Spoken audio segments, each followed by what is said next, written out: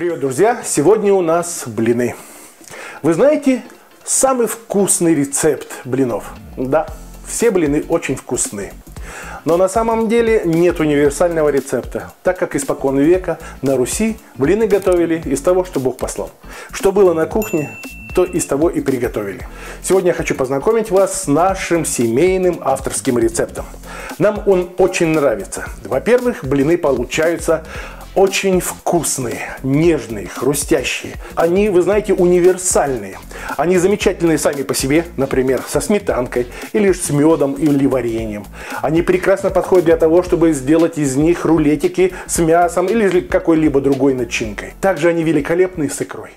Давайте начнем. С чего все начинается? Мы с вами сейчас приготовим фарш. Я вам дам рекомендацию. Если вы хотите приготовить вкусный фарш, например, для пельменей, для хинкали, для пирожков, вот как сегодня мы с вами будем готовить длины, используйте 2-3 вида мяса. Например, мы очень любим сочетание свинина, говядина, утка.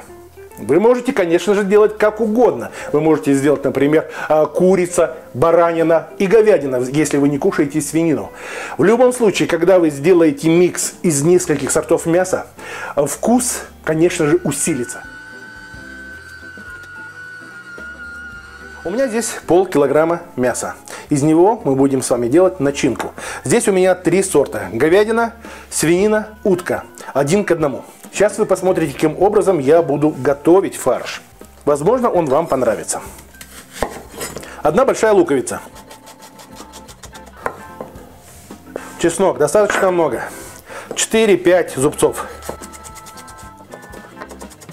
Оливковое масло.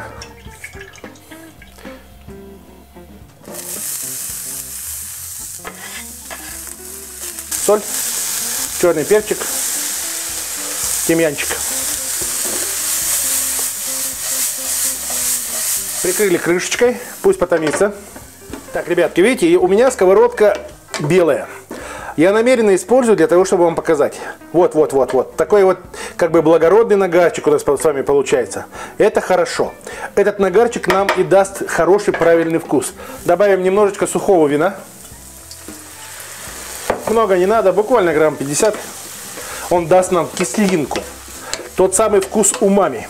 В общем-то, этого достаточно. Теперь этот лучок перекладываем в другую миску. Сковородку назад. Немножко оливкового масла. Греем. Пошел фарш. Соль. Немножко черного перца. Не горячись с черным перцем. Да. Черным перцем можно очень даже испортить. Абсолютно верно. Особенно, если он свежемолотый. Да. Закрываем нашей крышечкой. Пусть тушится до готовности. Мы будем с вами поджаривать фарш буквально до такого приятного коричневого цвета. Лук я сюда не добавляю. Когда вы делаете начинку мясную, для блинов особенно, ни в коем случае не используйте сильно жирное мясо.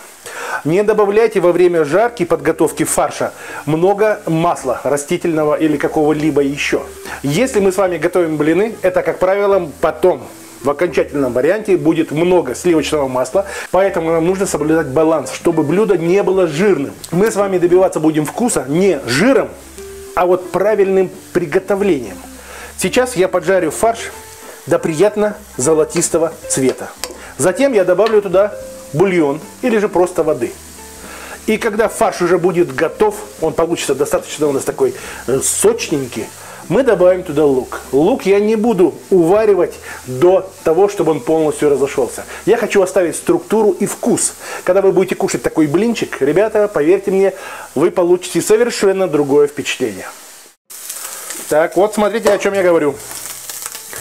Видите, мяско начало подрумяниваться. Когда у нас с вами такой цвет, это говорит о том, что мясо у нас с вами будет очень вкусное. Добавляем водичку. Или же бульон. На ваше усмотрение. Так. Почистили. То есть мы с вами избегаем добавления всяких бульонных кубиков и тому подобное. Вы видите, да? То есть я все время его подрумяниваю, подрумяниваю. Так, ну наш фаршик готов, ребята. Больше его поджаривать не обязательно. Теперь возвращаем ему былую сочность.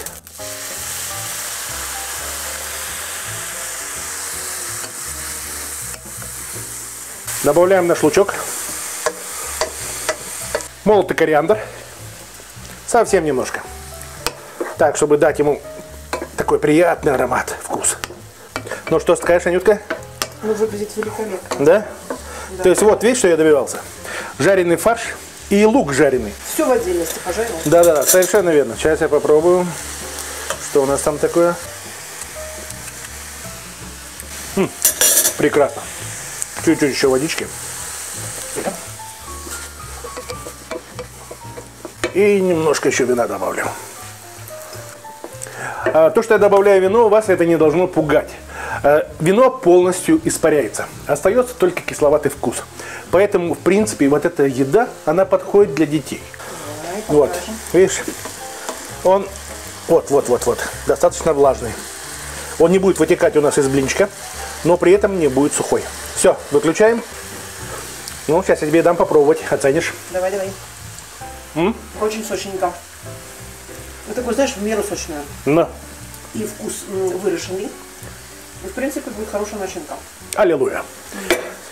В прохладное место пусть ждет своего часа.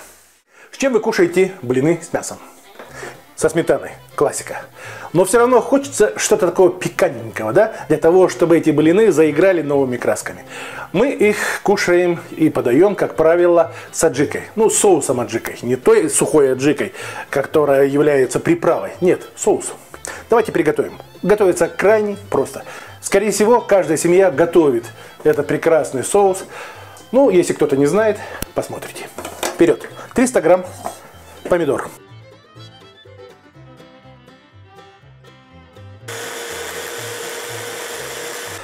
Я сливаю в отдельную мисочку. Мой любимый перец капи. Если у меня здесь было 300 грамм помидор, соответственно 300 грамм перца капи. Один к одному. Один к одному, совершенно верно. Плодоножку я убираю, но семечки, в общем-то, оставляю, потому что они нам понадобятся для фактурности. Ну, вы же знаете, как выглядит аджика. Немножко томатов для того, чтобы смазать наш процесс. Отправляем перчик в кастрюльку. Продолжаем, продолжаем работать с перцем. Ребята, наши подписчики дорогие, если есть вопросы, спрашивайте. В настоящий момент я уже оставил работу профессионального повара. Для меня этот канал развлечения. Я с большой радостью и удовольствием буду с вами делиться своими впечатлениями, знаниями, рекомендациями. Ну, тоже не борзейте. Чувство меры. Да.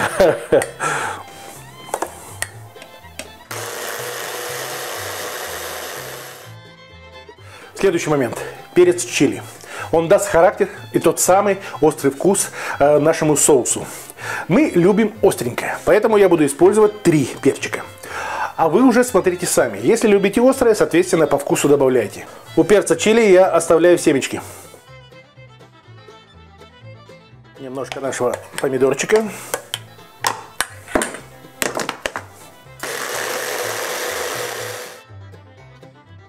Подведем итог.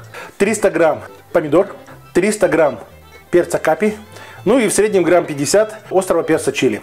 Сами делайте по вкусу. Теперь 100 грамм чеснока. Добавляем остатки нашего томата.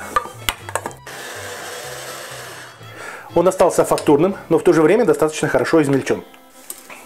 Включайте плиту. Доводим все это дело до кипения. Я добавляю тростниковый сахар, 2 столовых ложки. Неполная столовая ложка соли. Яблочный уксус. Можете использовать винный уксус.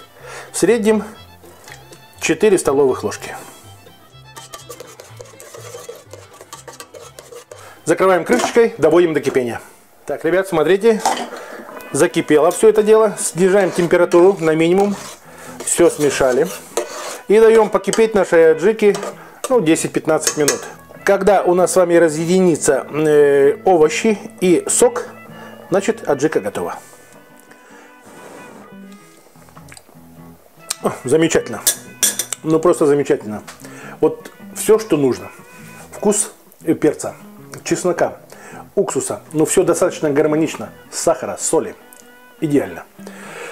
Когда наш соус будет готов, мы добавим уже в последний момент э, пол чайной ложечки молотого кориандра. Дадим немножко вот восточного вкуса. Но я не буду добавлять ни э, хмели, сунели и тому подобное. То есть я не буду делать грузинского вкуса. Потому что все-таки блины с мясом это ну, как бы исконно русское блюдо. Поэтому мы сейчас с вами сделаем приправку, которая прекрасно будет заходить с блинами, но при этом не будет сильно искажать и перетягивать в сторону востока. Понимаете? Я еще раз говорю, баланс. Всегда, когда вы готовите блюдо, думайте о том, чтобы ваше блюдо все-таки было приближено к аутентичности. Ну вот, ребята, смотрите-ка. Жидкость отбилась, овощи себе. Это говорит о том, что все готово. Добавляем пол чайной ложечки молотого кориандра. Соус аджика готов. Ставим в прохладное место. Буквально через несколько минут мы с вами его будем сервировать вместе с нашими блинами с мясом. Ну что, ребята, пришло время приготовить тесто для наших блинов. Что главное в блинах? Это хорошая сковородка. Вот у меня моя рабочая сковородка, которую я не знаю даже сколько лет, лет 30 не менее. Посмотрите, какой у нее рабочий боевой нагар. Я вам рекомендую иметь одну хорошую сковородку, вот такую, например, стальную, только для блинов. Ничего на ней больше не готовьте.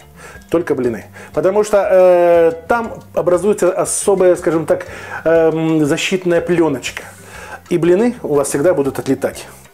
Или же купите специальную сковородку, тефлоновую, например, для блинов. Это, конечно, проще всего. Но я предпочитаю вот такую вот хорошую стальную сковородку. Блины на ней получаются почему-то вкусней. Мы не любим тефлоновые сковородки для блинов. Мы, да, мы тефлоном вообще не пользуемся. Чугун – это вот тот самый случай. Или такие вот профессиональные сковороды из стали. Стакан муки – это обычная мука. Сейчас мы с вами ее будем просеивать. Ржаная мука 2 полных столовых ложки. Большая полная столовая ложка грубая мука, грубого помола. Вы видите, что с ней? Вот, она такая крупная. Она напоминает даже манку. Да, ну чуть-чуть мельче, чем манка. Угу. Она даст нам мягкость, рыхлость нашим блинам. Но при этом наши блины останутся все равно эластичные и не будут разваливаться.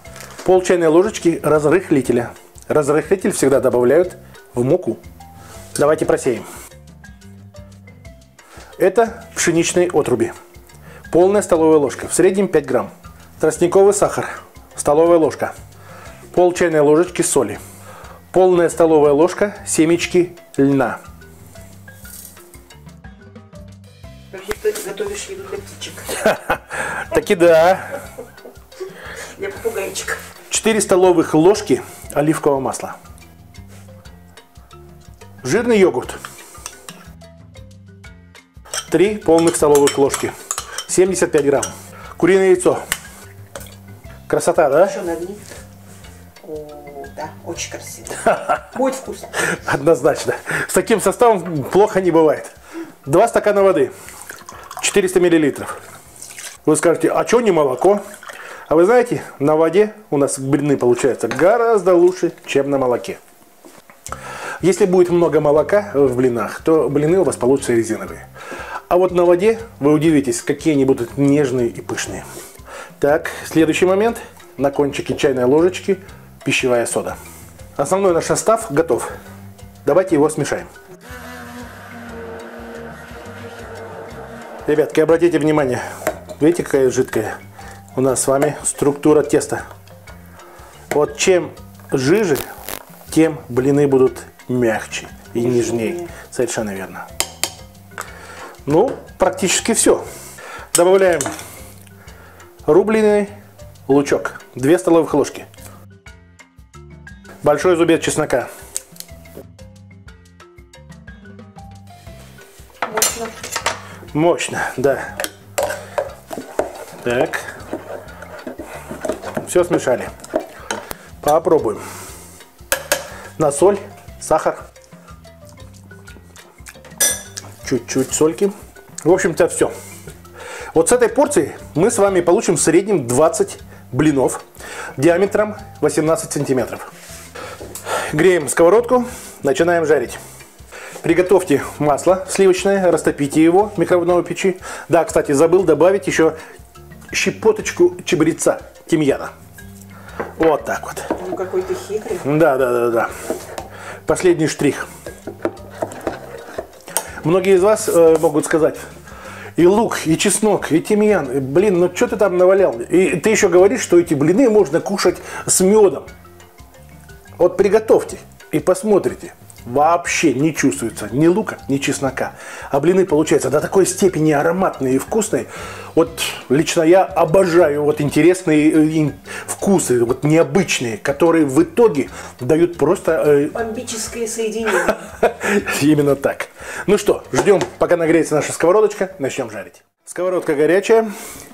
Учитывая, что у нас э, в тесте есть оливковое масло, я помажу сковородку только первый раз. Для того, чтобы, как говорится, первый блин э, прошел и оставил после себя след. Потом уже все остальные блины будут просто вылетать.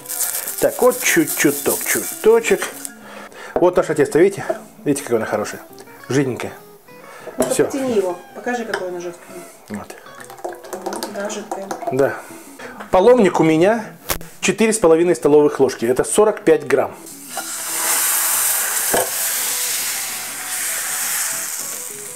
Ну вот, видите, какая красота. Ай-ля-ля.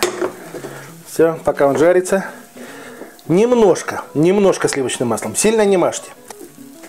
По поводу масла. Есть у нас два варианта э, использования сливочного масла. Первый. Если вы сейчас с пылу жару сразу блинчик подаете э, своему любимому или детишкам, конечно, маслицем надо помазать его очень хорошо.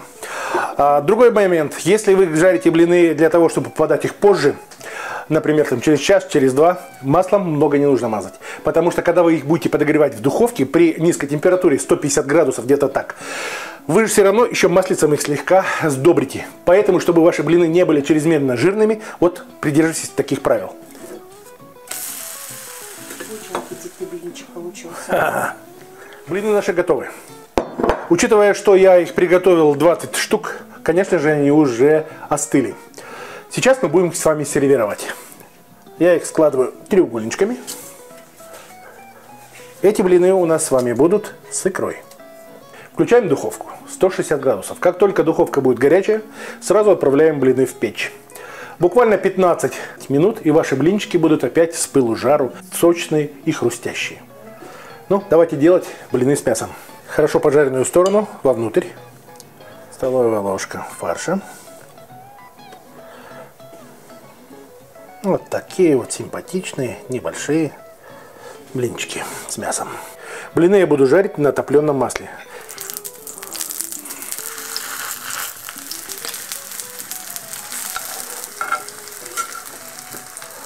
А можно их в духовке запекать? Ну, конечно, как вам нравится. Прекрасно. Закрывая крышечкой, пусть они прогреваются, минимум огонь. А другие блины у нас уже стоят в духовке, подогреваются. Ну, все. Сейчас все будет готово, начнем сервировать.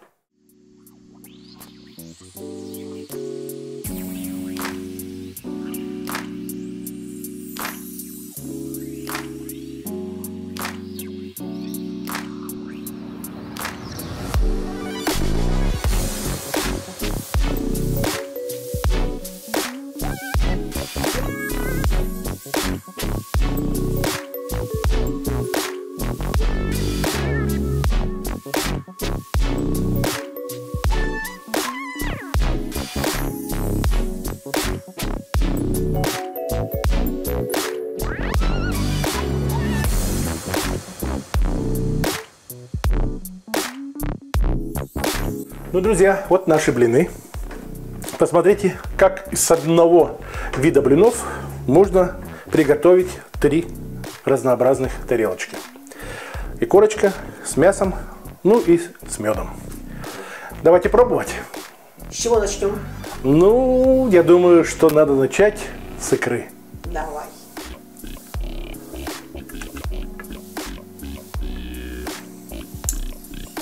Да ты гурман. Ну, друзья, какая красота! М.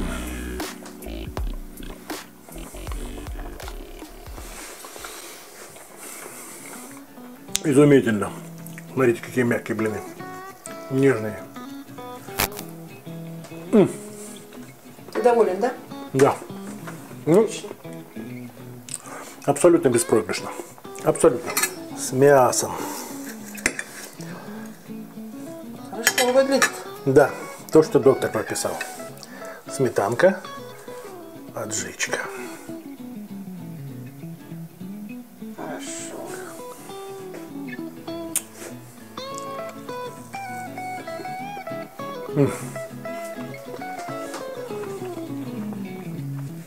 Если вы приготовите такие вот блины, такую начинку, такую красную икру, конечно, ваши близкие, ваши друзья будут просто в полном восторге. Анюта, теперь твоя очередь, пожалуйста. Давай вот с мясом и с аджикой, да? Да. Ой-ой-ой. Очень вкусно. Мне сначала показалось, что джик островато. Нет, оно очень хорошо с блинчиком, с мясом звучит. Великолепно, да? Да. И э, то есть нету восточного вот этого вкуса, да? Да. Как бы вот грузинского, который все-таки перетянет сразу на свою сторону. Мы сохранили вкус русского блюда. Обычный вкус. Да, тот самый привычный, тот самый вкус, который мы любим с детства. Ну, друзья, на этом все. Надеюсь, что сегодняшнее видео вам было интересно, понравилось. Каждый русский, кто готовит, конечно, эксперт по блинам. Сейчас уж, наверное, будет у меня много-много комментариев. Но прежде чем критиковать, приготовьте. А потом мы с вами поговорим. Увидимся в следующий раз. Пока, мои дорогие.